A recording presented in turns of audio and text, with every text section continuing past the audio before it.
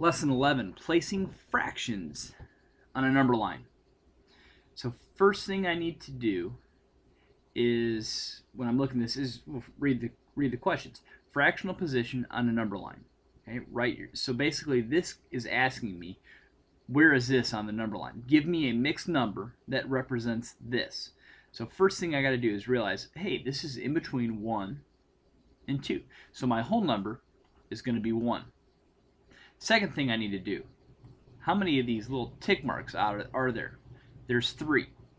That tells me it's split into one, two, three, four equal pieces. So I know my denominator is going to be 4. So how many pieces is this right here? Well, let's count. One, two, three. Three fourths. This may be a little confusing, so I'm going to go ahead and erase these numbers right here. I count the little marks right here, and then I add one. That tells me how many pieces I have altogether. Okay, so one, two, three, and four pieces. So this is one and three fourths. So go ahead and give the video a pause, and I want you to try to find the mixed number for B. 13 fifths or 2 and 3 fifths, whichever one you prefer. Okay, because it says fraction or mixed number, and this is a, a fraction. Okay, so either one of those answers works.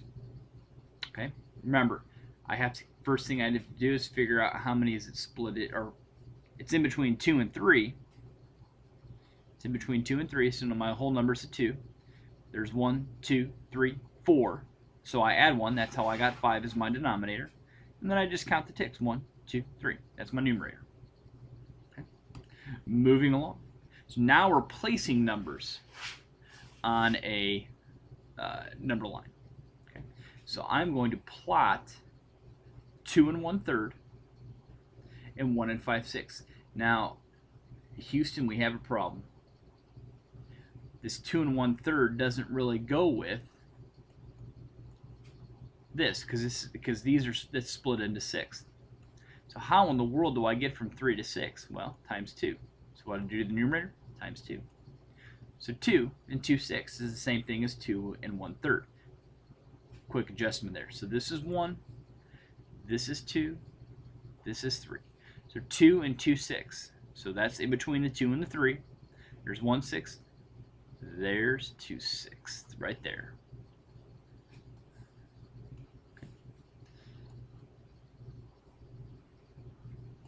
and then 1 and 5 sixths there's 1. It's in between 1 and 2. So I count over 1, 2, 3, 4, and 5. And there's 1 and 5 six. Okay. So we've got 1 and 7 tenths. So here's 1, and here's 2.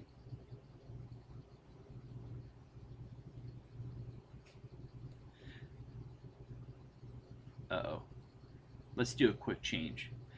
I want you to cross this off and I want you to make this 1 and I've got the wrong line drawn for this. Let's change this to 1 and uh, 4 sixths. 1 and 4 sixths. So it's in between 1 and 2. 1, 2, 3, and 4 right there. Okay, And we're going to change this. We're going to get rid of that and we're going to make this 3 and 1 sixth. Okay, so it's in between 3 and 4 and we count over 1 for 3 and 1 sixth. Okay. Apologize for the uh, mistake in, in number lines. Things like that happen, but we adjusted. Now, this is what we're going to do at school tomorrow and these are correct, I promise. Uh, so enjoy your evening, and we'll see you tomorrow.